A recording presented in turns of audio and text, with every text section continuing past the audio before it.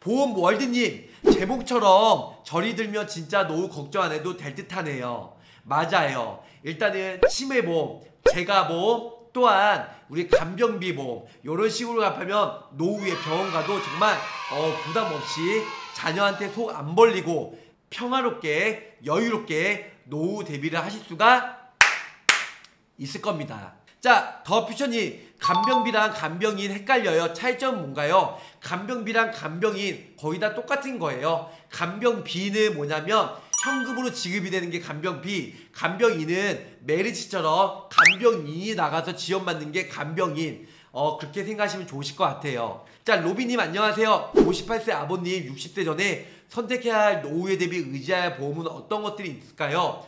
요 세 개 같이 가입하면 좋겠지만 치매는 나중에 아무래도 가장 많은 혜택이 받을 수 있는 게 먼저 간병비, 간병 인보험, 현금이든 간병인 지원하든가든 자잘한 질병부터 중대 질병까지 모두 다 간병인을 부를 수 있는 게 간병비 보험이 좀 더 폭넓고요. 그 다음에 재가보험, 그 다음에 치매보험 순으로 가입하시면 좋을 것 같아요. RINY님 71세 여성 보장기가 10년 85세, 15년, 90세 둘 중 어느 게 나을까요? 고민이네요. 15년 나 90세로 하세요. 왜냐면 나- 납입 면제도 중요하고 일단은 보험료는요 길게 적은 금액으로 납입하고 보험금은 빨리 받는 게 유리해요. 그래서 너무 빨리 납입하고 끝내는 것보다 천천히 적은 금액으로 길게 납입을 좀 더 추천을 해드리고 있어요. 본 광고는 손해보험 광고 심의 기준을 준수하였으며 유효 기간은 심의 일로부터 1년입니다.